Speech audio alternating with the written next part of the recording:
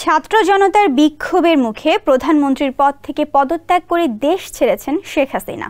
এরপর থেকে দেশ জুড়ে চলছে অস্থিরতা। পাকিস্তানের বিপক্ষে দুটি টেস্ট সিরিজ খেলার কথা বাংলাদেশের। পাকিস্তানের শান্তদের যাওয়া নিয়ে নেই কোনো নিশ্চয়তা। তবে নিজেদের কাজ সেরে রাখছে পাকিস্তান ক্রিকেট বোর্ড পিসিবি। টাইগারদের বিপক্ষে দুই ম্যাচের টেস্ট সিরিজের জন্য স্কোয়াড ঘোষণা করেছে সংস্থাটি। শান মাসুদের নেতৃত্বে স্কোয়াডে জায়গা পেয়েছেন সতেরো ক্রিকেটার। সহ অধিনায়ক করা হয়েছে middle order batter Saud শাকিলকে।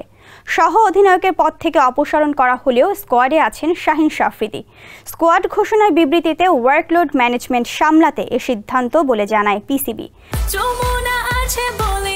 Jamuna refrigerator খাবার ফ্রেশ তো লাইফ জম্পেশ। বাংলাদেশ পাকিস্তান দুই টেস্ট সিরিজের প্রথমটি শুরু হবে একুশ আগস্ট রাওয়ালপিন্ডিতে পরেরটি ত্রিশ আগস্ট করাচিতে।